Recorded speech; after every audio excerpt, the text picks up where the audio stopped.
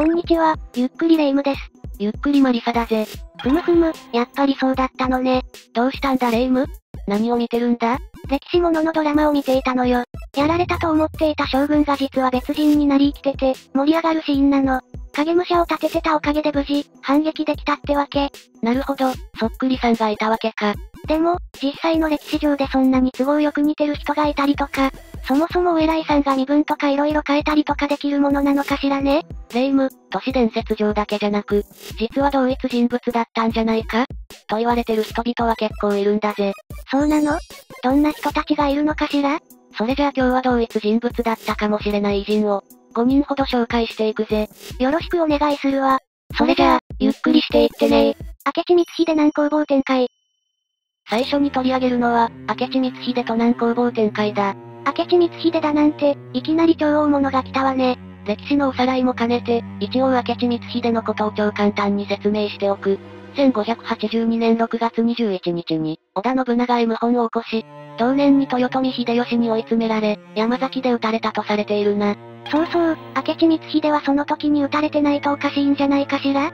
しかしとある逸話によると、明智光秀は天海と名を変えて、徳川家康に仕え、江戸時代の動乱に深く関わったと言われている。天海って、確かお坊さんよね。これまたざっくり言うと天台宗のそうだな。この説自体は大正時代に浮上していて、1916年に新聞記者が、天海は足名森高の一族の出身、とした伝記を発表したことがきっかけだぜ。どうして明智光秀と僧侶が同一人物だと考えられるのかしら？明智光秀も天海も歴史上で有名な人物だ。にもかかわらず、その前半性がはっきりしていない。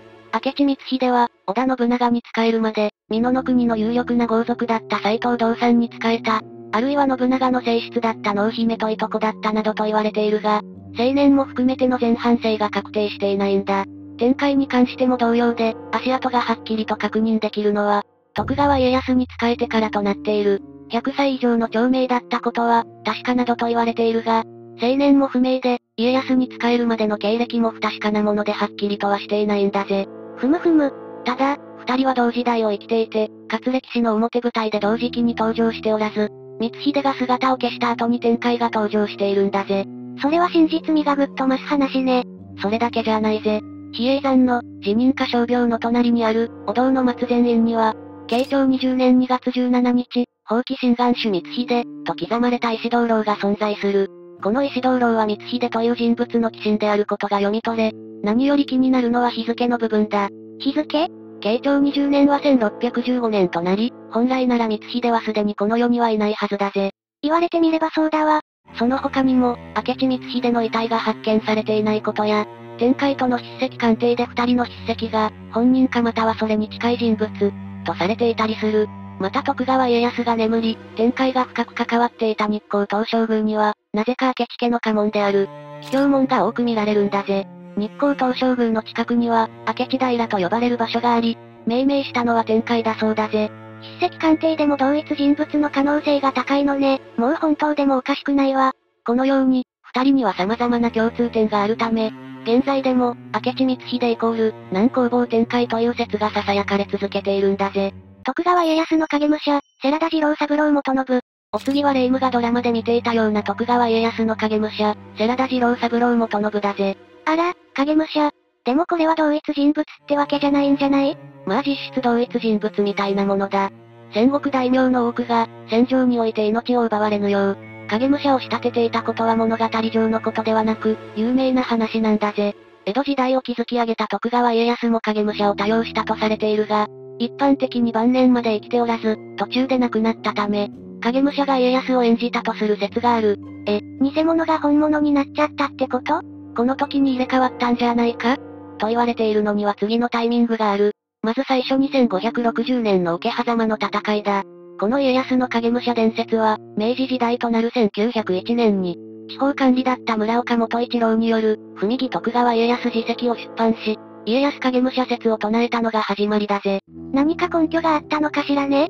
儒学者である、林羅山の駿府政治録という日記からだな。この駿府政治録には、家康が子供の頃に誘拐されて売り飛ばされた。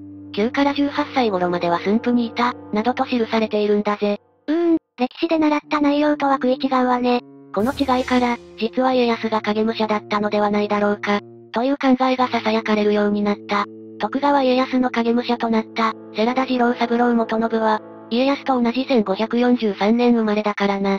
世良田次郎三郎元信ってどんな人だったの？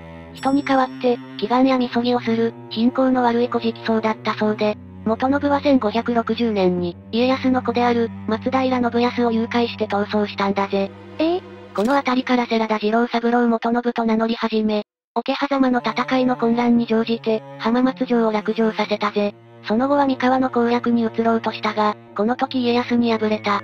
そのため信康を返還することとなり、そのまま家康の家臣となったぜ。誘拐犯を部下にするなんて、家康、度胸あるわね。そして家康と元信が入れ替わったのはその直後で、信長討伐のために終わりへ進行していた家康が、途中で家臣の安倍正豊に暗殺されてしまうことになった。急展開。世は戦国時代だったからな。しかし家康が命を落としたと分かれば、織田や今川が攻め込んでくることは明らかだ。そのため家康の側近たちは、まだ幼い信康が成長するまでのつなぎとして、元信を家康の替え玉にしたと、一説では考えられてるぜ。他には入れ替わったと思われるタイミングはないのかしら？あるぜ。二つ目は関ヶ原の戦いだ。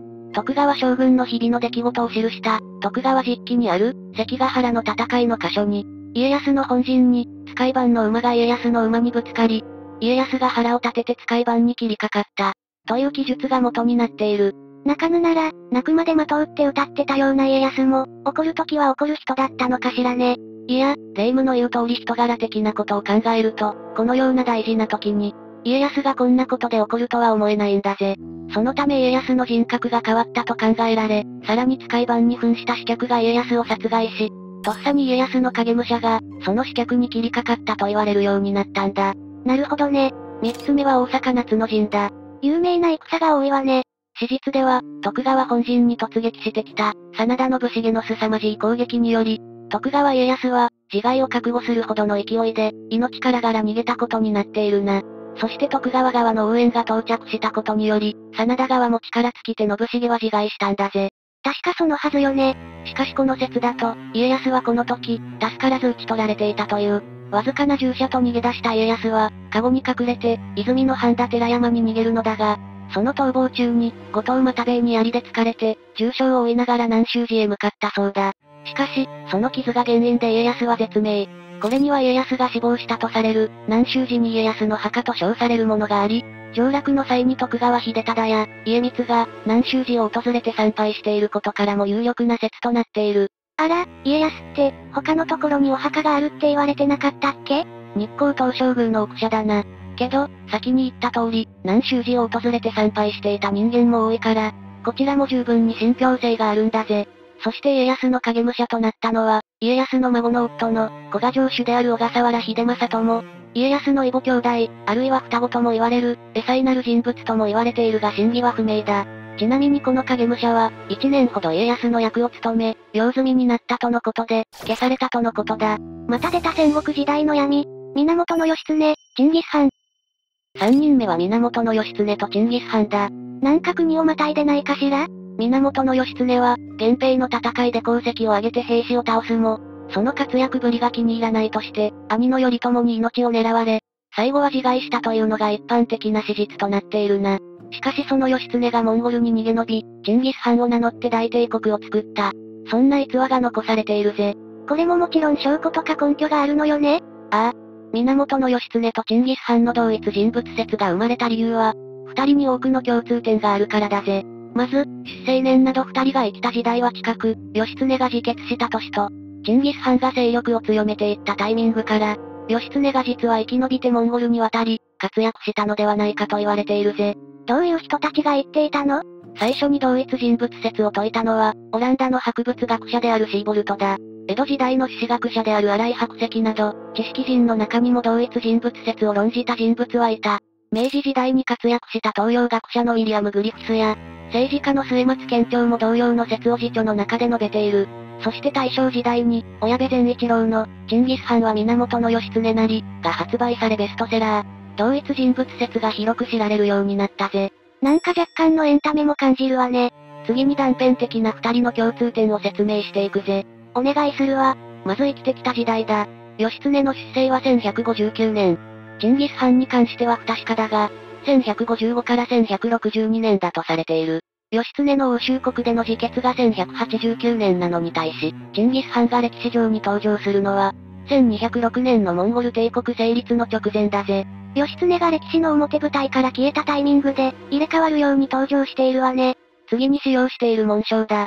義経の家系である清和源氏では、笹林道が代表的な家紋として使用されていた。チンギス・ハン軍もこれと似たような紋章を使用しているんだぜ。そして大英博物館に所蔵されている、チンギス・ハンの像の台座にも、似たような紋章が書かれているんだぜ。義経が笹林道の紋章をモンゴルで広めたという可能性が出てくるんだ。ちなみに、モンゴル大陸の高原に笹は存在しないぜ。ないものを形にするって、そうそうできないものね。お次は軍事戦略だ。義経は兵法を学んで、奇襲作戦を効果的に利用し、功績を残しているぜ。一の谷の戦いや屋島の戦いが有名ね。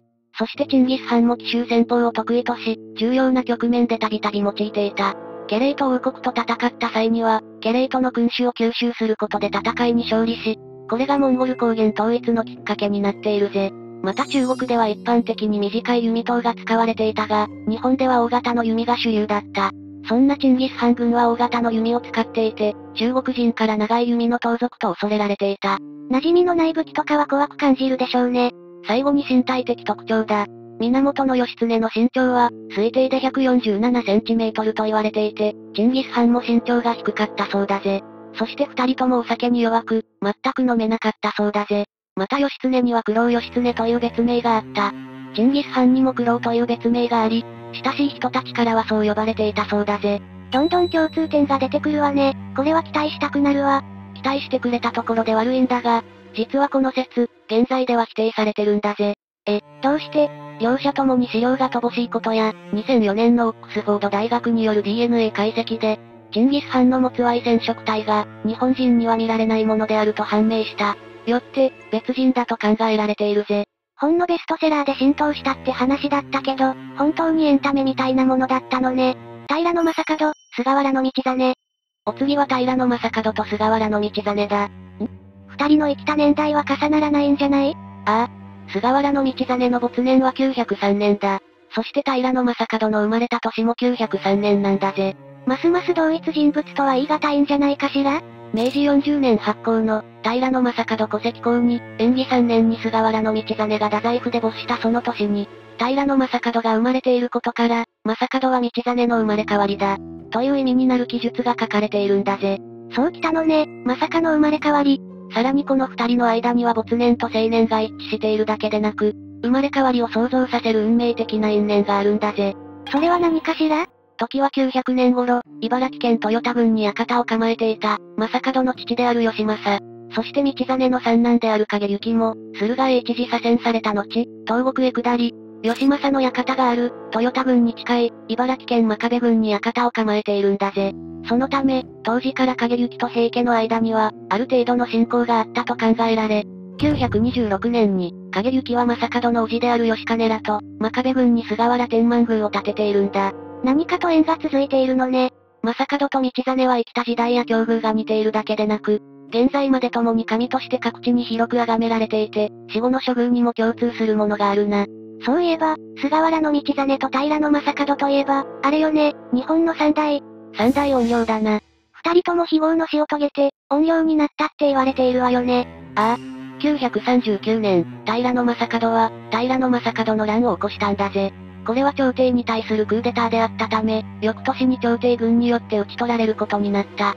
その後、正門の首は京都に持ち去られ、無本人として何ヶ月も京都で晒されたのだが、ある夜に首が関東に残した胴体を求めて空を飛んだという話だ。リアルに想像すると怖いわよね。そしてこの首が東京の大手町に落ちたとされることから、平野正門の首塚が建てられることとなった。現在も大手町には首塚が残されているものの、実は関東大震災で倒壊した際に一度撤去され、そこに大蔵省の仮庁舎が建設される流れになったぜ。あ、これはもうやばいパターンだわ。その通りだ。大蔵省の関係者が次々と不審死を遂げてしまい、慌てて首塚を再建することとなったそうだぜ。ちなみに正門の死後で、鎌倉時代頃に書かれたとされる、正門記には、正門が親王を称するようになったのは、道真の霊魂が宿った巫女が現れ、八幡大菩薩が正門に天皇の位を授けると選択したからだと記載されている。ここでも道真が出てくるのね。そして怨霊といえば日本人なら真っ先に浮かぶ菅原道真だが、幼少期より学問で突出した才能を見せ、朝廷で早々に地位を築き、右大臣まで上り詰めた人物で、現在は学問の神様としても有名だな。受験生がよく神社に参拝するって話を聞いたことがあるわね。これだけ聞くと運用とはかけ離れてるけどね。しかし有能すぎたためか、左大臣の藤原氏と対立したことから、身に覚えのない罪を着せられた。政治の中心地であった京都から、西の果ての太宰府へ左遷されることとなった。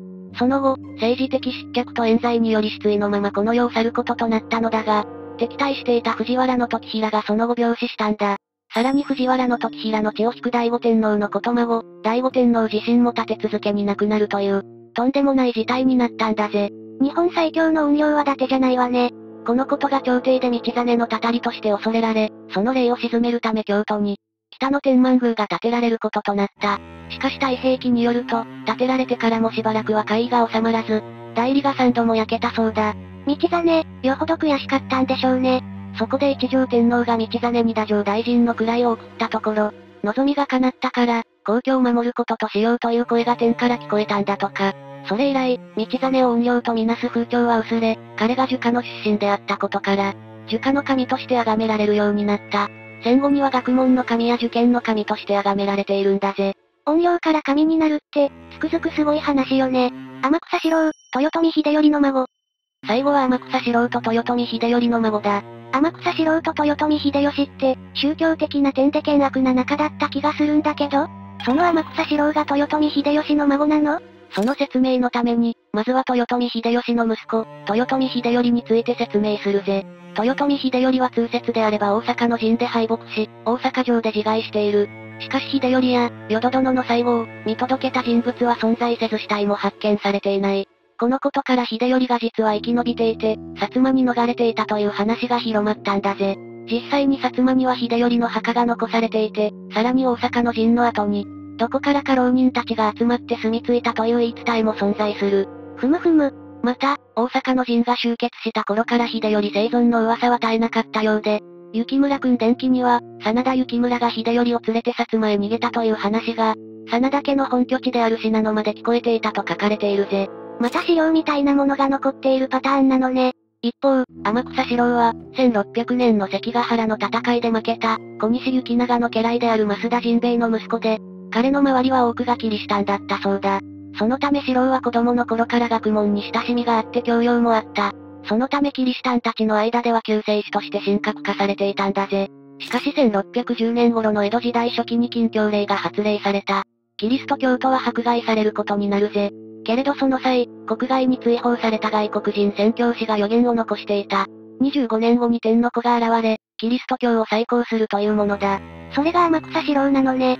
ああ、25年後の1637年、16歳の天草四郎を総大将として、日本最後の宗教戦争である島原の乱が勃発する。しかし、天草四郎らは敗北したぜ。それで、天草四郎が秀吉の孫って話は？天草四郎には豊臣秀頼の楽園だという伝説がある。これはいわゆる父親に認知されていない子供ということだ。秀吉と天草四郎、二人にどんな共通点があるのかというと、その一つは、天草四郎の馬印が豊臣秀頼のものと同じ氷炭だったことだぜ。当時、この馬印は簡単に使えるものではなかったんだ。そのため、天草四郎は豊臣家と何らかの関係性があったとされるぜ。お偉いさんの印とか、昔は恐れ多くて使えなかったかもしれないもんね。とはいえ、これに関しては四郎の父が小西行長の家臣で、彼が豊臣秀頼の家臣であったためと考える方が自然なのかもしれないな。ふむふむ、他には、幕府軍が島原の乱の詳細を書き残した書物に、天草四郎は秀頼の子という記述が存在する。もしかしたら豊臣家の血筋を根絶やしにするため、幕府軍は島原の乱で皆殺しにしたという、その可能性も捨てきれないんだぜ。また、天草四郎が豊臣秀綱という名を名乗っていたという資料が鹿児島に残っていて、これが正しいものであれば、豊臣家に縁があると証明できるだろうな。証明できたら面白そうね。さらに、天草四郎が生き延びていたという話も存在している。これは彼の死体が見つかっていないことからだな。また死体が見つかっていないパターンなのね。父親とされる秀頼も死体が見つかっていないし、城たちが立てこもっていた、島原半島にある原城は、海に面していて、城の下から地下道が発見されている。捕らえられていた城の母も、息子は何番か、ルソンに逃げたと話していたそうだ。やっぱり古い記録は生きているかどうか、曖昧なところが多いわね。それだけじゃないぜ。そもそも天草四郎は存在しなかったんじゃないか、という話も出ているぜ。そうなの？実は、幕府も軍も、天草四郎がどんな人物かぼんやりとしか分かっていなかったと言われてる。しかし総大将の首は持ってこなければならない。幕府は天草四郎に似た背格好の似た者の首を、10以上も持ってこさせた。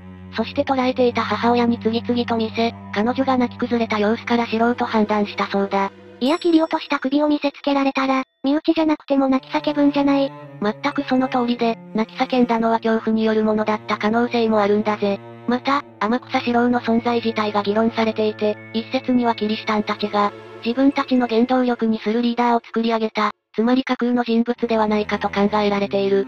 個人的には証拠もあるし、実在はしてていいと思うわ。なんせイケメンだったらしいしね。いやそこかよ。というわけで、同一人物だったかもしれない偉人を紹介したわけだが、霊夢、どうだった？うーん、最初から別人だったり、生まれ変わりだったり、途中、源義経のところでも言ったけど、エンタメとして伝えられた説もあるなと思ったわ。それもそうかもしれないな。残念ながら、今史実として伝えられている事柄の方が信憑性が強い。そのため、都市伝説としての域を出ないのがほとんどだからな。でも、やっぱり本当だったんじゃないか？とか想像の余地があるのはやっぱり楽しいわ。今後、そちらが真実である証拠が見つかるかもしれないしな。ということで、今回の動画は以上となるんだぜ。この動画が面白かったら、チャンネル登録と高評価を、ポチッとしてくれたら嬉しいよ。よろしくお願いいたします。それでは、ご視聴ありがとうございました。